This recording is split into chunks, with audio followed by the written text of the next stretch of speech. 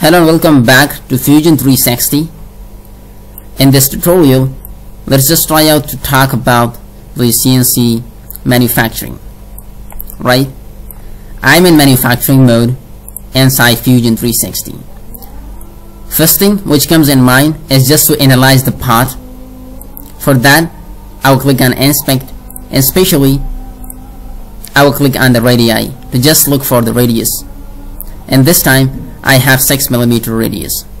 Why I did this? Because whenever I select the tool so I don't have any difficulty in that to select the proper diameter tool for this kind of path to be machined. Next, you need to select the proper units and then you just made your path either in millimeters or inches. Next, if you look at on the top, you can have the milling, you can have turning, additive, inspection, what we call is the CMM, fabrication, and utilities. For now, I'm interested in milling. I will choose milling. Next, what to keep in mind as before going to create the CNC program for any kind of part, there is basic three kinds of requirements. The first one is the setup. Next, you have to define the proper tool. And finally, you have to apply proper operation. And the operation depends on the complexity of part. For now, I have simple part. It will not need lots of operations, but you have to be keep in mind all the things, right? and then after doing all these things you can go and select the post processor which will comes under the action category and then you can create the G codes so let's just try out to to program this part right? So first I will click on the setup. Either you can click on the new setup as well. And I will just click on the setup. And setup you just realize the machine which one is my pot, which one is my blank, and which one is my machine zero. Machine zero is nothing just to call the manufacturing coordinate system. And you have to just orient this according to the machine and that you will just load this part. For now I'm just happy but make sure the z axis must be upward. You can just uh, play around with the x and y axis. And uh, for example I just want to hold this part and machine in this way. So I'm happy. This is my x-axis this is my z-axis and this is my y-axis you can play around and just orient the model orientation like in this way. But for now I'm just happy right and next you have to choose the proper uh, machine. Milling turning cutting uh, which what actually we call is the laser or the water jet and additive. For now I would use milling operation.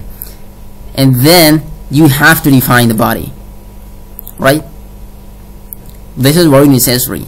In stock if you look at here I have some additional material on sides which I don't want to be have I'll just do this and you can see what here. This is why I will select a fixed size box. See? And I'm just happy with this. Next to define the proper operation how you will recognize that to which operation I should actually jump and to create the uh, CNC program? Let me just clarify you you, you should know uh, what's actually a 2D this is called the planar mill and uh, this is the planar part because the, the the side of the the pocket is just parallel to the axis. That's what actually we call is the uh, planar mill. If the cutting planes are not parallel to the axis that time we call is the three axis machining and you need to go for that and if you have certain kinds of drilling operation you need to go for them as well. And multi-axis later on we'll talk about this as well. But for now uh, you have to be clear out about the planar mill and the three axis as earlier I told you. For now uh, this is a prismatic part and especially a planar part and we have pocket. I will click for the 2D pocket. And now you have to select the proper tool you can add a new tool by just click on the plus icon. But for now I've already in my library with 10 diameter tool. I'll just like this tool. And now what I can do I will just go for the geometry and will just like the pocket that you want to be uh, manufactured to create G codes for them you can keep the coolants on and off. Uh, you can do dry machining. For now I would like to do dry machining. I don't want uh, to be have any coolant uh, during the operations. And, and now you can just uh, uh, default present uh, and you can just custom them together. By just defining that my uh, feed rate should be this one. And now it will automatically create the G and M codes for you.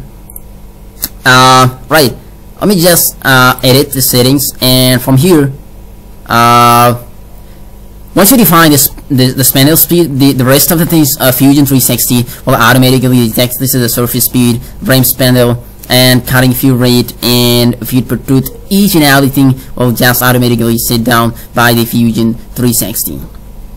And, uh, right, and I, I, I don't want to be, have any rest of machining. I, I just want to be clear out this pocket and once and uh, I'm happy, right? And Next, uh, the clearance plane you have to define because the tool will retract up to this plane and I think this is fine for now. Uh, you can just uh, minimize, uh, but for now, I think this is uh, really well. Uh, right?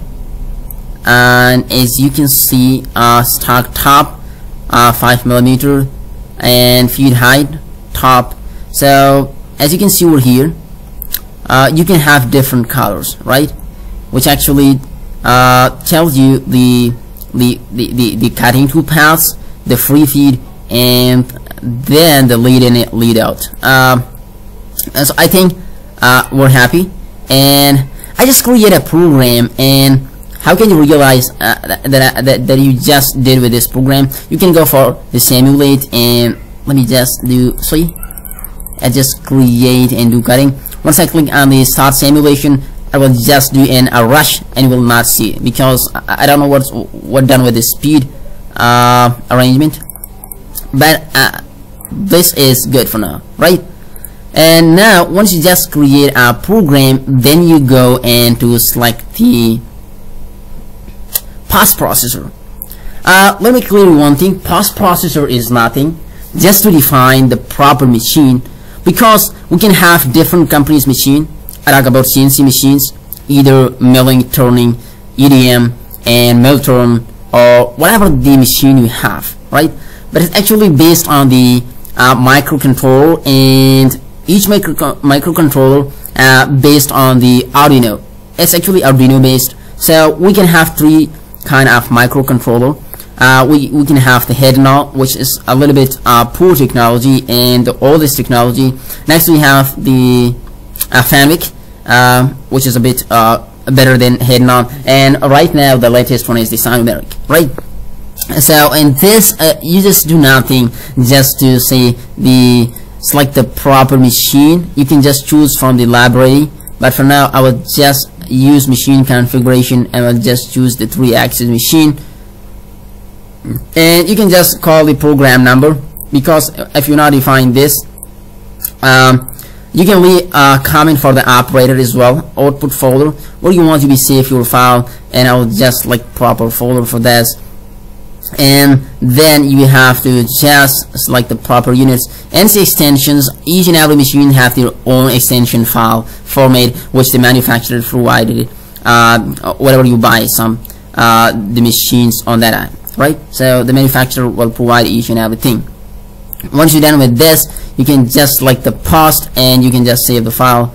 Uh, but this time it will not generate the the proper CNC program for me because uh, I don't have a licensed software because this is the correct software and I'm able, unable to create the the G codes uh, right? So in next operation uh, I will create uh, the same part with the help of the NX and then I will show you what's actually the G codes. So basically you have to be clear out about the setup 2d 3d drilling multi-axis and actions uh, especially post processor and then you have to gen generate the G codes right? You can select the G codes from here as well. But just clicking on there but if you have the license then each and everything will be fine right? Because the procedure that I just told you is the basic thing and then defining the post processor is not a critical issue for you. So hope you enjoyed this tutorial.